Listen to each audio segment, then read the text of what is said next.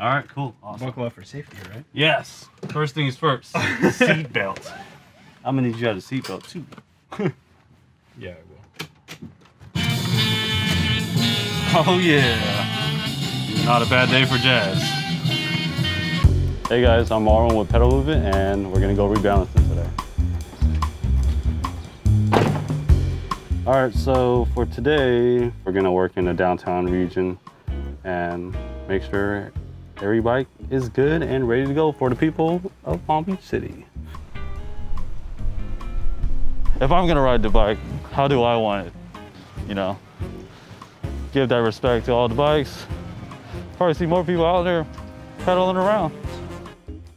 So right now I'm just uh, swapping batteries, bring it back up to 100%. Gonna disinfect these bad boys and they'll be ready for people to be used. Since I'm here, I'm also gonna make it look nice and just, by the time I leave, it should be really good, so yeah. All right, pretty much it right there.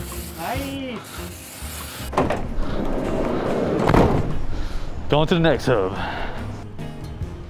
Lived there all my life. Uh, I seen the city grew uh, from what it was in 1990. I learned a lot about the city, learned a lot about the people, like, you know, even about, you know, like homeless too, you know, just, but we're all, you know, here together, so. The only best thing we can do is just take care of each other, you know. Only way to make people happy, man. On the way, we spot two bikes right here. Yeah, we're gonna basically pick those bad boys up, inspect them, and make sure they're good. And if they're good, put them back out in the world. If they're bad, taking it back. Yeah, sadly, no one didn't really care for those lovely bicycles. I love working on bikes. Been working on bicycles my whole life, and some people actually stop me and it's like, "Hey, man, I appreciate what you're doing," you know, or like, "Hey, my son is is riding his bike to college, and we appreciate you know what you're doing." And those stuff like that is just, you know, even know, if, if I had a rough day, that that will lighten my mood up. That'll be the highlight of my week. You know, just little stuff like that. Working in this city is just is, is rewarding. Like, yes, it's work, but it's fun. Uh, it takes me all around town, so I get to check out the bikes. And there's also people are awesome here too. So yeah, trying to spread that positivity like butter on a pan.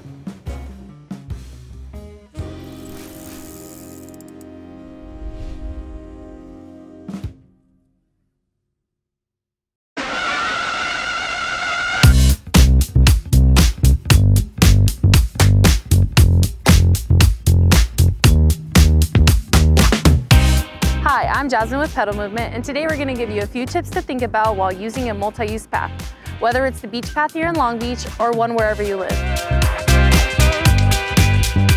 Tip number one, pay attention to your speed. Most multi-use paths have 10 to 50 mile per hour speed limits.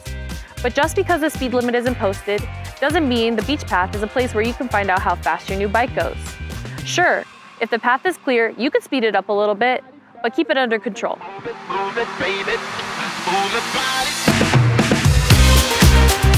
Tip number two, pass on the left and ride on the right, just like in a car. Don't be that jerk doing 55 in the fast lane. And if you're riding with a group, don't cross the entire lane. If you do have to pass, make sure that you do it safely. Don't weave in and out of riders. Tip number three, look and signal before stopping or making any unpredictable moves. Even though you're doing everything right, others may not be paying attention. So you want to do everything in your power to communicate your next move. Tip number four, slow down in crowded areas, especially if you see families and kids around. Yes, pedestrians should look out too, and we all make mistakes. But on a beach path without cars, it's you on a bike that can do the most damage. So watch out. Number five, use your words. Call out on your left when you're passing. If you have a bell, use one when you're approaching groups. The more you can do to let people know where you're going and where you are, everyone will be better off. And lastly, just be a good person.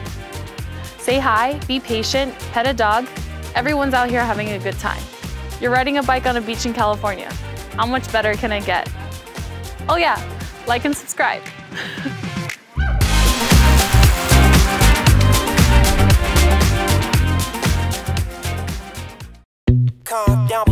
stress up the groove. The energy a little different when the blessings accrue. Hey, who you talking to? Just know I ain't no regular fool. Could be anything in the world, but I can never be you because I.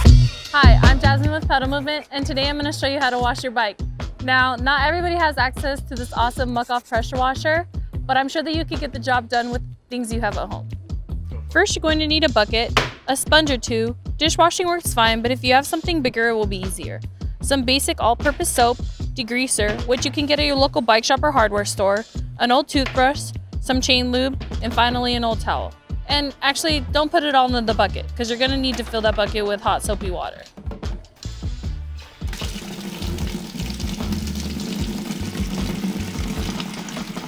Depending on how dirty your bike is, you might want to give it a quick rinse down before you get started. Be mindful of disc brakes if you have them. We find that these Muc-Off disc brakes covers are super useful to avoid contaminating your brakes and your pads. Next, we're gonna degrease the drivetrain. Spray degreaser into a sponge, degrease up the whole entire chain and cassette, and then we're gonna leave it there to sit while we move on to the rest of the bike.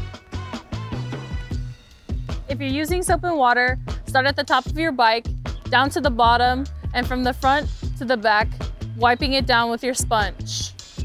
Unless you have a Muc-Off power washer. Too hard for it. No, I need to beat it you mess up the mood. Some important places to pay special attention to are your brakes and rims, derailleurs, and the underside of your bottom bracket. Removing your front wheel makes it easier to get inside the blades of your fork, and the old toothbrush helps you get into some harder to reach areas. When you get to your chain, you may want to switch back to the old greasy sponge to get in there and give it a second scrub. Now that your bike is all clean, it's time to give it a final rinse. Just be careful not to spray directly into your bottom bracket or your headset. Other than that, bikes are meant to get a little wet.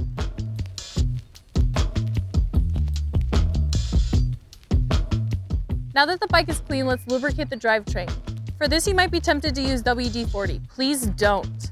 WD-40 is a water-based lubricant, and even though it might temporarily lubricate the drivetrain, over time, it will rust and ruin the whole thing. Use a bike-specific lubrication for this. Trust us. Take your chain lube and touching the nozzle lightly to the chain, slowly spin the pedals in reverse to make sure you get some on every link. Make sure to keep it away from your brake pads and rims. Wipe off excess with a paper towel. And that's how you clean your bike. Cleaning your bike regularly helps it look awesome, helps the components last longer, and run smoother. Thanks for watching. Like and subscribe!